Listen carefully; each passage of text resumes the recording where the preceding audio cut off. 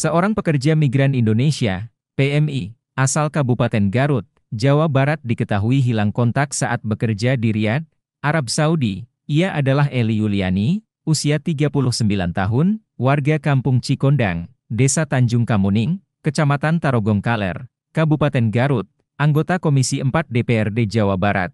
Enjang Teddy mengatakan, saat ini kondisi Eli di Riyadh sedang ditelusuri, pihaknya juga telah berkoordinasi dengan Badan Perlindungan Pekerja Migran Indonesia, BP2MI, untuk melakukan advokasi agar Ella segera pulang ke kampung halamannya, ia menuturkan saat ini pihak keluarga berharap Ella segera dipulangkan ke tanah air, mengingat kondisi Ella saat ini diduga dalam tekanan sang majikannya di Riyadh. Seperti dapat penyiksaan dan upah yang tidak dibayarkan, bahkan menurutnya, Komunikasi terakhir pihak keluarga dengan majikan Ella, diketahui sang majikannya itu meminta uang sebesar 80 juta rupiah. Pihak keluarga syok saat dimintai uang tebusan sebesar itu.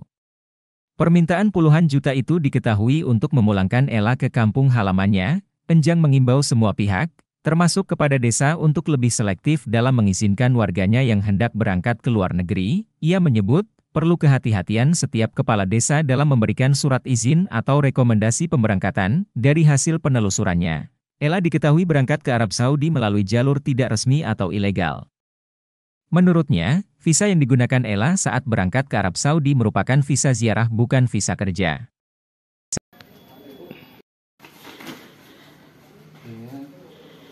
Baik pemirsa Tribuners, ini kami bersama Pak Dewan Enjang sedang menelusuri dokumen-dokumen Ibu Ella yang uh, saat ini dikabarkan uh, terlantar begitu di Riyadh ya Pak ya.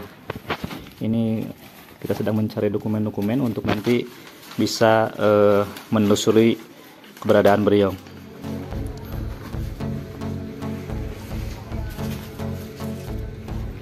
Terima kasih sudah nonton. Jangan lupa like, subscribe, dan share ya.